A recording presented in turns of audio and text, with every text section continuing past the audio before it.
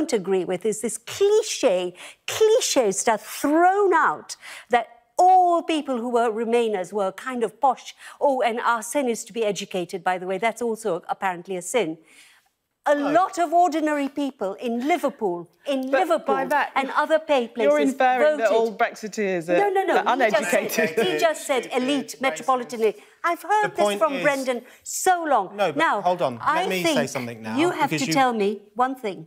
How are we going to oppose an elected dictatorship with other than somebody who opposes the central ideas of that elected uh, dictatorship. Yasmin, what you have to appreciate, and everyone else on your side of the fence has to appreciate, is that you lost. That's how democracy oh, works. We voted. We voted for Brexit in 2016. We voted for it again in 2017 when we voted for 80% of people voted for parties that what? were going to support Brexit, and we voted for it again this year by voting for Boris Johnson. We voted for Brexit now at least three times.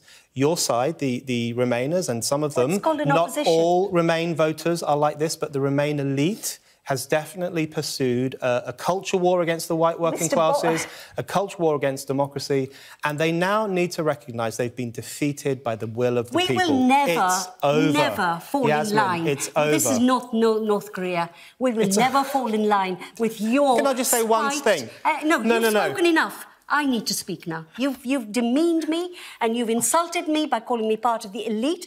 I am not. Media no, no, no. We're both part no. of the media elite, I think. Excuse me. So if you're part of the elite, how come I'm guilty and you're not? You use your elitism to brainwash people in one way. Can I just okay? say one more no, tiny thing? No. Democracy depends on losers' consent. democracy only works if the losers in a democratic vote. I've lost so many yeah, votes. I've, I've hated arguing. the outcome of general elections.